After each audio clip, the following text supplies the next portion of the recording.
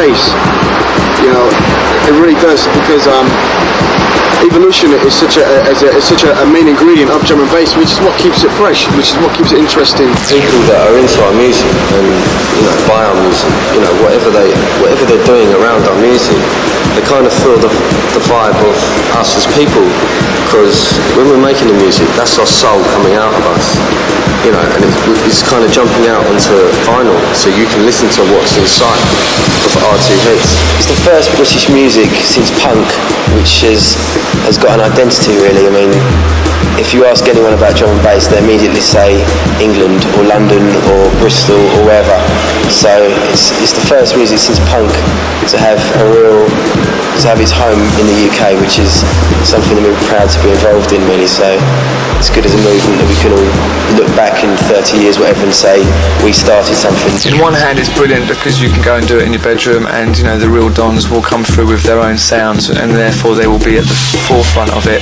But the scene does need the four heroes to come along and to take the level to that higher point, and same with Grooverider, and with Goldie, and with Roni Size, and with DJ Krust and Dylan J. Vaughan. So they're all waiting for the next man to kind of go one step further, and that's the great thing about that scene. You've got people like, uh, as you said, you've got Optical, Digital Ed Rush, and all those people that are. Uh, and, and Dillinja that are real uh, bass uh, scientists, if you call them, that are pushing the boundary forwards when it comes to mutating bass sounds. This is the finish, one of the finished breaks that I've, I've been working on.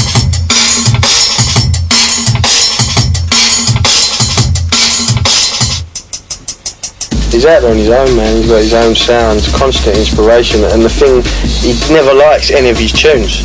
You ask anybody, and they're like, I can't understand it because he never likes any of his records. I find when I do a track, maybe I, I, I don't put all, I don't, I don't never put all my all into a track. I've, I've never, I, think, I don't think I've ever done that yet. I, what I do, with a track, I might get like the breaks done and certain parts of the track that I really like done, and then I just fill up the rest of the track with sounds that's similar to what I want. You can hear a Dillinja tune within the first four bars. You're like, that's Carl. You just know. Is it the bass? I mean, it's his beats. It, before his bass even drops, you, you, you know it's Carl.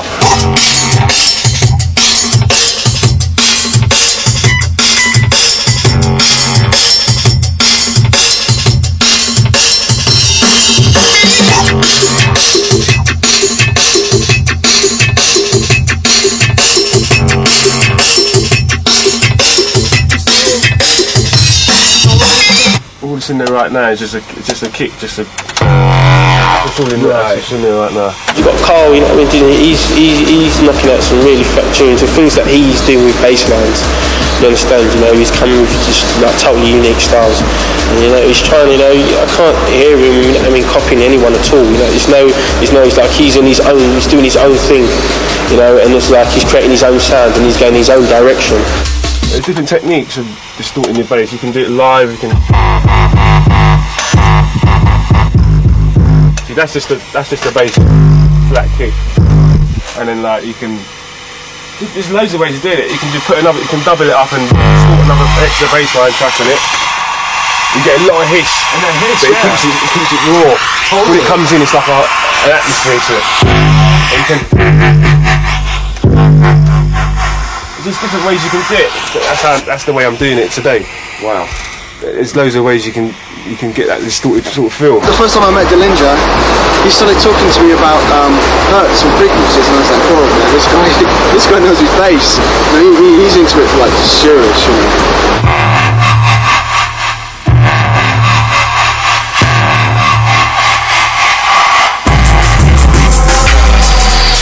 Carl, Carl's the worst one. He's he's got tannoys, but his tannoys go lower than my ones, and uh, several several council levels. My biggest influence is Dillinja, really. Dillinja's, Dillinja's a very powerful artist, very quiet, but very powerful artist. I mean, he's, his whole, he's a bit of a demon, man. in music. I mean, he's, Carl really could take any, any dance floor apart, and, and has done for many, many years, because Carl's that kind of guy. And the breaks are all together at the moment, but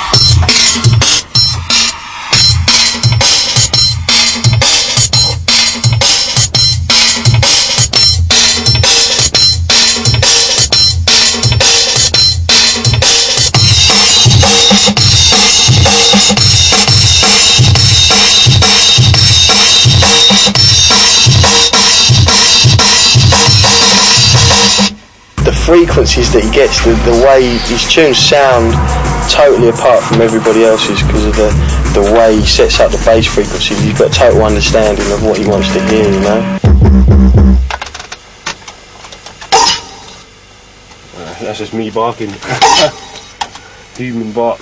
Sometimes I get sample CDs, now and then, now and then, but if I can do it myself, I'll just get the mic out, I'll just make a noise with my mouth, I twist it up in the sample or whatever, and it just sounds like an effect. I need to get sessioners in to play what I want them to play, because sometimes you, you can't always find a sample in a certain key. I mean, you can stretch and at the end of the day you're losing quality, you can never find exactly what you want. Whereas now I'm working on my album, I'm actually getting people in, telling them what I want to play, and just locking it all in tight. Just resampling it, different, different drops.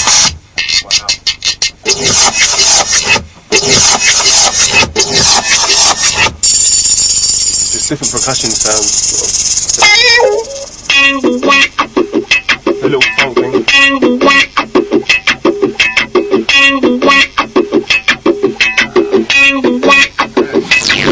I want everybody to make rec- good records so I can have more records to play. Blasphemy is going on! Blasphemy! There's some wiggins going on out there. I don't like it, you know. I'm gonna go and look for my mate, the devil's advocate. Where are Marcus? Where are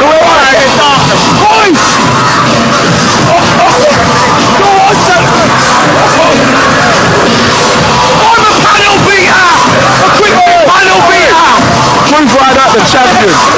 Reigning champion. Reigning champion.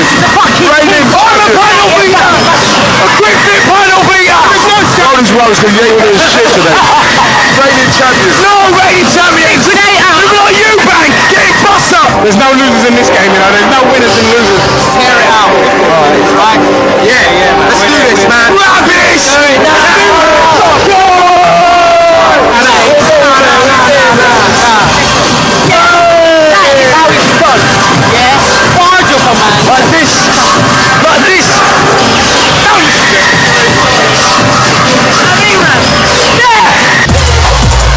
Just for you heads, we're abstracting it. Abstract it from the metal, hardcore design. Roll the instrumental. We abstract it from the metal.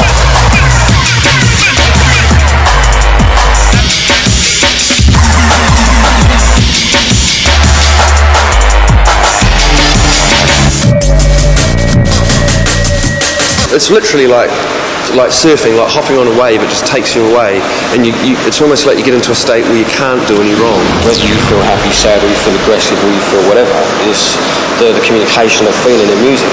So therefore, we don't have to necessarily lay down, you know, verses and choruses of repeatedly saying the same thing. We can sort of make the listener use their imagination more. I- irrelevant of what what bracket you may put it in, if it's good, it will affect people in one way or another. It will touch them. Before, how it used to happen was uh, used to have the top guys, as I said, like uh, yeah, like uh, Goldie and uh, uh, Four Hero and Photek and all those kind of people. They was putting out tunes that would make a lot of people in the, in the scene think, how do they do that? And then and then go in there, they go in their bedroom or in their studio and try the most techniques and new things will be discovered. You create so much different sounds, so much different bass lines. You do things with breaks, you know, you, and when you put them together, it create, it do create a, a total new sound. all about vibes really. So I work a lot with Ed Rush and Fierce and we have a little kind of group of people we work with. You know, and I think for us it's just about the vibes and the tunes always, man. This is where we do virus. All of the virus stuff gets done here. And is this where you've been doing the album with Rush? Yeah, yeah. We've been kind of doing it. We haven't been telling him when we're doing it. We've just been doing it the last six months as we go along. Today's the last sort of day we have to get a track sort of, or maybe two tracks. No, depending we've on got, we've got to talk beat to you it. about actually. So yeah, today's the final day we have to get any sort of any new material done for the album. It's been like six months in the making, huh? Uh, Ish. Maybe even a little bit more. But we sort of made it without even realising, you know, we just, came in this room once a week and, and sort of made a track a week and now we've got a, a build up of material so it makes sense really to put it all out at once. This is what I call the heart of the studio. The uh, sampler, the EMI sampler.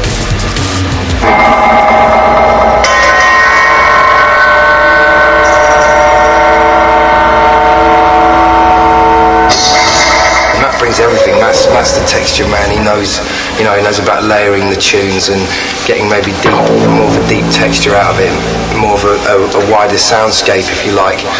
Um, Matt also knows about all the techniques, and if I say, you know, that sound, say sound A, for example, I feel it should be a bit more whatever. If I use a word to describe it, Matt knows what I'm talking about, and within two presses of a button and a little processing, it's there. This is sonar. It's got to be some nasty. That's like our standard bass sound. Very often a tune might be in a certain way up until the last hour. Yeah, and just all. And in the last hour, it's like, wait a minute, that B line's all right, but to be honest with you, I know between us we can do something a lot better than that. And and the other one's like, yeah, I know, I've been feeling the same thing as well. So very often it's even, you know, in, even in the last half an hour of making the tune, that can shape the whole thing. You know, optical. I was into the, the way these guys experiment because it always be. I mean, optical is one of the I mean, true engineers of music. Generally, general music has been involved in a lot of different things. He's good that he focused on drum and bass as his forte. I know that Matt Optical is like pretty much inundated with remixes and he's got his own album projects. Him and Ed Rush got a Virus project coming out and all the 12s he does. I mean, that guy is 24-7 in the studio.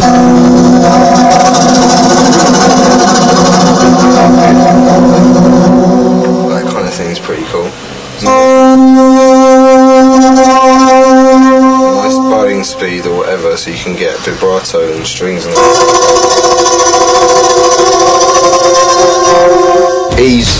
always looking to just push it forward and just move it into the next dimension, put it through another little effects unit and put it back into the sampler and twist it up again.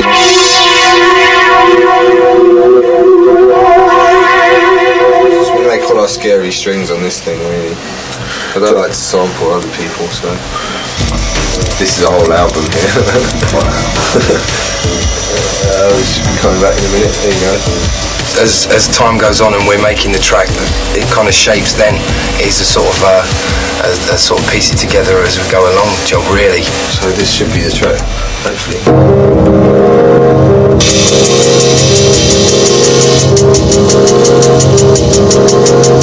It's all about a let off, you know. I mean, people. I think people's true character comes out in the music when you hear something like somebody could be quiet, but like not outgoing and loud spoken and that, but in their music they express themselves properly.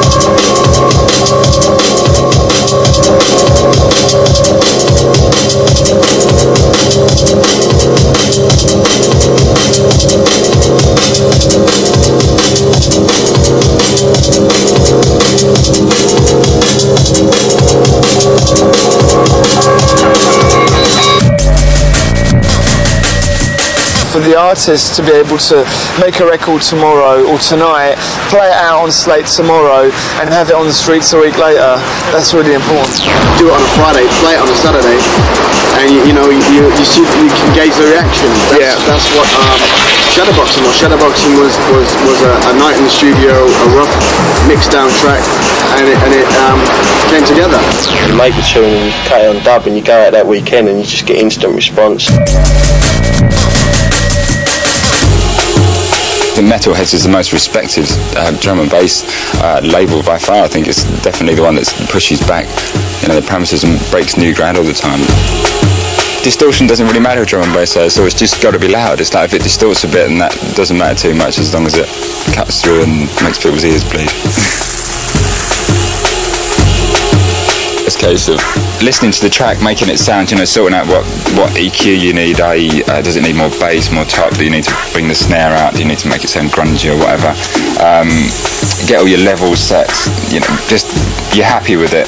Then once you've got all that together, you're going to cut it in there.